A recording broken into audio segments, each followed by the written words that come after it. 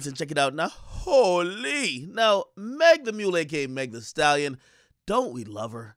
Now, ladies and gentlemen, the great thing about Meg is that she contradicts herself at every turn. Okay, not too long ago on social media, after going off on a rant, also accusing me, Akademiks, of being on Tory's payroll, she said, I ain't gonna say nothing more about this. We gonna see in court. Okay, now she's going back on that word because she's back to talk about this again. This time, actually, Wack 100 predicted this. She did a sit down with Gayle King, actually giving new details about what happened when Tory allegedly shot her. Now, this is her recount. I wish I could play the clip, but I can't. You know how that goes. It's CBS content. However, she gave us some new details saying that they were arguing in the car. She wanted to get out. She basically hopped out. And basically, she recounts or she says Tory shot at her like over the window of the car. Okay, so it seems like she's saying that Tory was inside the car and he shot outside, which she was at, and he said, dance, bit, dance. Okay, now, few things. Previously, she definitely said, um, my back was turned. So now she could tell you the direct positioning of the shooter. However, before she said her back was turned. Now, she also said people don't believe her and people think she's lying. But then in the same interview, she admitted, hey, when the police first pulled up, I lied. She said she told the cops that she didn't get shot, that she actually stepped on glass. She then said later she changed her story, and when asked why she lied, she said, uh, George Floyd got killed and I didn't want the police to kill all of us. Okay, makes sense. Now, she also says after she got shot, and by the way, she said it was multiple shots that were fired. She said after she looked down after the shots were fired, she saw blood.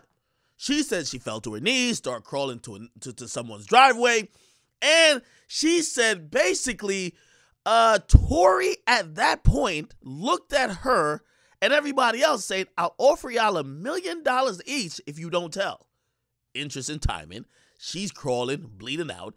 And the first thing Tory allegedly says is, Yo, I'll give y'all a million dollars if y'all never tell people about this. Keep in mind, for somebody to shoot at you, just think about that type of mindset.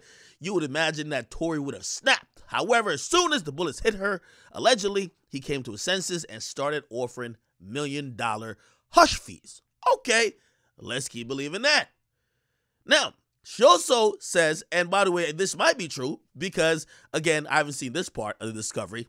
Judge, send it over. Um, Kelsey, which is the best friend, accused Tory of shooting uh, Meg because she texted a bodyguard to say, "Hey, come get us." Basically, Tory shot Meg. Interesting. Okay? Now I have nothing to rebut that. That's an interesting thing that will definitely be played out in court. Now, the best friend is really interested in this, okay? And I'm going to get back to the best friend again because the last thing that Meg said that was of importance to me, okay, was Meg said, yo, well, uh, uh, uh, uh me and Tory never had a sexual relationship. Interesting. Now, Tory said different, but also the best friend has said different. The best friend is actually on tape saying, Meg, you was effing with Tory behind my back.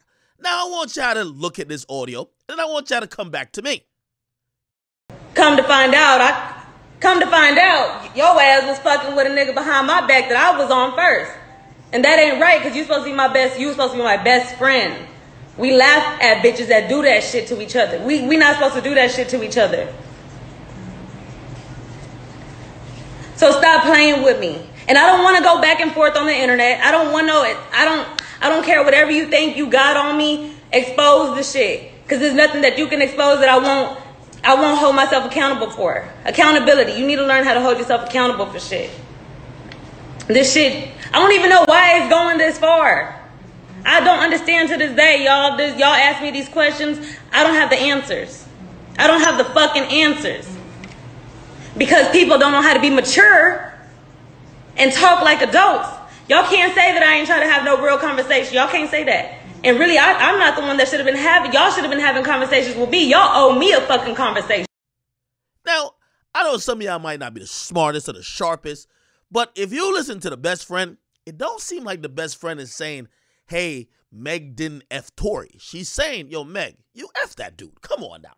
Now, it's really hard for me to believe that her and Tory had no sexual relationship or sexual relations and they were dealing with each other allegedly for about like six months. But okay, I'll believe it because it's believe all women. Now, this is where uh, uh, um the, the the end comes in, where I realize why Meg is doing this. And if you watch the last minute of that interview, it's about 12 minutes. Meg says, I am the victim. Meg is only doing this not to hope that Tory gets convicted. In fact, I would probably suggest the other case. I think she thinks maybe Tory might skate. I don't know if he did or not. I'm just saying legally. He might skate. And she needs that victim push to do and accomplish certain things in her career. So, because, again, whether Tory's convicted or not, we're probably still not going to know what exactly happened unless we see a video. She's getting out and she is securing the victimhood quickly. Okay. She made it a point to end that interview with basically kind of lamenting why people don't see her as a victim and also saying, I'm a victim. Because of those things, I look at all of this kind of funny. Also, remember, Tory got a gag order. By the way, I don't know if I told y'all, but I told people on Twitch. Meg, uh, in, in uh, um, also in accordance with the prosecutor, wrote a whole lot of documents about me in court, saying that I was getting information from Tory, not knowing that I got it from Roc Nation. Okay, thank you, Meg. And basically, they were pretty much like, yo, in cahoots about, yo, let's keep Tory quiet. However, Meg is doing interviews without her lawyer. Basically, he's trying to claim and say, yo, I'm the victim, which again, no problem with that. But it seems very concerted that she's trying to use this to push more than the narrative that, yo, Tory hurt me. feels like it's, hey, for me to win, this needs to happen. And it's kind of unfortunate because I do think Meg, at the root of all things, she's more talented than um, someone who needs to have the victim role to succeed. I think that's the saddest part of it all. If Tory shot her or not, hopefully we actually do figure out the truth in court. And if he did, send his ass to jail. And if he didn't, Meg, your career finna be canceled. I will tell you that. All right. You guys getting in comments. Let me know what you think about this. I don't know if you guys seen the interview, but go watch it somewhere else. Get to Googling. You'll find it. Get on my Instagram. Yeah, follow my Instagram, damn it. You probably see some clips there. But other than that, it's your boy DJ Akademiks. Make you guys like, definitely subscribe. Meg, she did shed some tears. She's a bad actor. But damn it, the tears did come. Okay. Is she telling the truth? You be the judge. Get in the comments. Make sure you guys like them, subscribe to Boys Akademiks.